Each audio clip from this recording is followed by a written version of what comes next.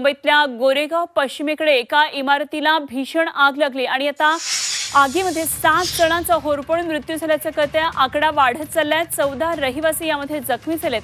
समर्थ नावाची इमारत होती. त्याच्या पार्किंगमध्ये ही आग लागली आणि या आगीमध्ये पार्किंगमधली जवळपास तीस ते चाळीस वाहनं जळून खाक झालेत. तर या आगीतून तीस जणांना वाचवण्यात यश आलंय. सध्या ही आग आटोक्यात आलेली आहे. कुलिंगचं काम सुरू आहे. या अग्नितांडवामध्ये सात जणांचा बळी गेलाय. रात में यहाँ पर जो फायर हुआ है, सब लोग सोए थे, जिसके कारण काफ़ी कैजुअलिटी हुई है। और कुपर हॉस्पिटल में और जो, जोगेश्वरी में जो हॉस्पिटल है ट्रोमा केयर वहाँ पर लोगों को एडमिट किया गया है। जो प्राप्त जानकारी के अनुसार करीब करीब छः से सात लोगों की मृत्यु।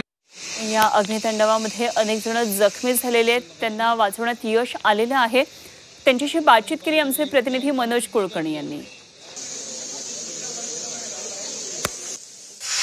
जब आग लगी थी आप को क्या सुनाई दिया? कैसे बाहर निकले आप?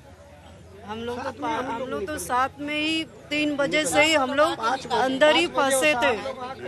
रूम में ही फंसे हुए थे।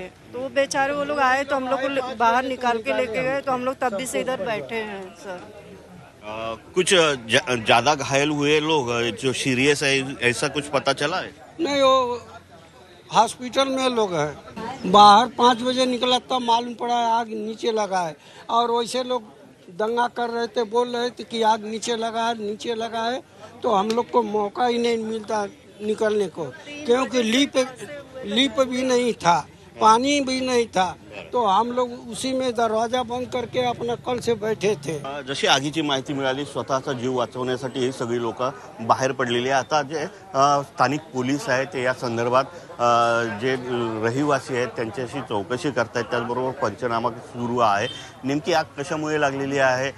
किती जखमी झालेले आहेत? किती जण सिरियस आहे किंवा किती जणांचा मृत्यू झाला? या सगळ्या गोष्टी आता तपासामध्येच उघड होतील आणि पोलीस आता त्यासाठीच कामाला लागलेले पाहायला मिळतात. आहेत व्हिडिओ चालणारी रवी मनोज कुलकर्णी जी चोवीस तास मुंबई. लाल मातीतली कुस्ती. म्हणजे